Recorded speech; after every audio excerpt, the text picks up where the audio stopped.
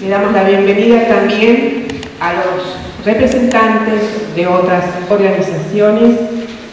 eh, en este caso al director del Sanatorio Las Colonias, doctor Eugenio Bianchi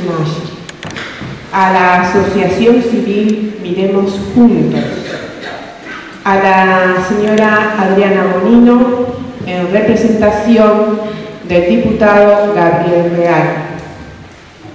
a los directivos de las escuelas y jardines, a los docentes, a los exalumnos, familias y público en general. Desde los programas de capacitación provincial, como lo es Escuela Abierta, Ronda de Palabras, tertulias pedagógicas literarias, nos permitieron generar nuevas estrategias de trabajo en la búsqueda del sostenimiento de los tres ejes conceptuales de la política educativa y de la educación en sí misma, es decir, la escuela como institución social,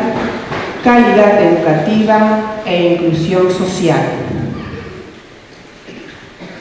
Poco a poco nuestra escuela fue reflexionando sobre las prácticas pedagógicas y descubrimos que para sostener una educación integral se necesita fortalecer un eje muy importante que atraviesa todo el proceso educativo y ese eje es el de las emociones.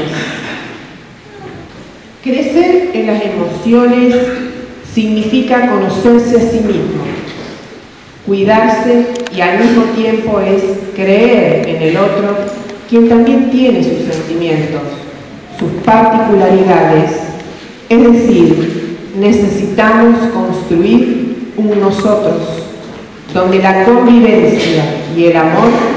permita desarrollar y mejorar las relaciones vinculares, el afecto, el respeto y la solidaridad. Ser diferentes no significa negar un abrazo o no dar la mano en una ronda, sino por el contrario, es dar la mano para cruzar juntos un puente, es dar un abrazo para generar confianza y así permitir el crecimiento sano hacia la alegría, la seguridad, desarrollando las mejores decisiones y proyectos de vida. En este caso, el grupo de exalumnos